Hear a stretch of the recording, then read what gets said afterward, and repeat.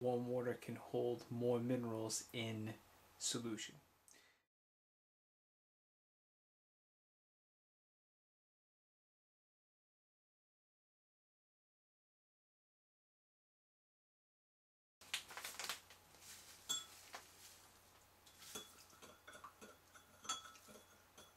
Okay, so right now I'm pouring in the salt crystals.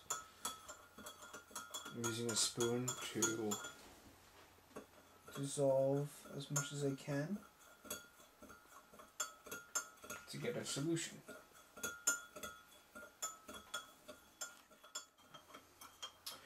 So we're going to keep on pouring salt inside the solution until it's completely dissolved.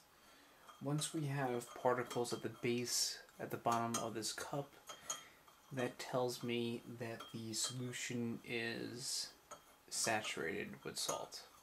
And that's good for us to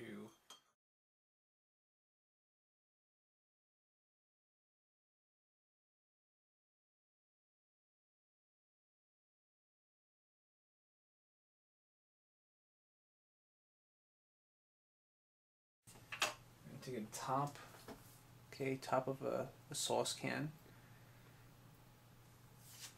I'm going to take a cutout.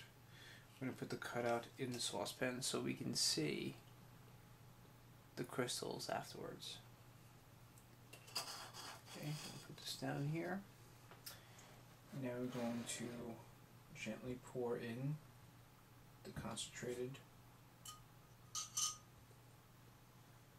water.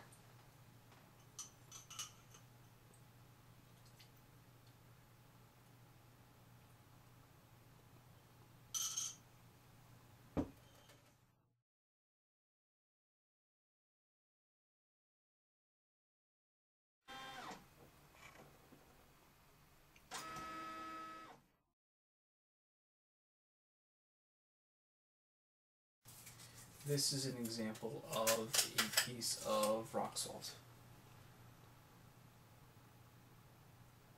Okay, notice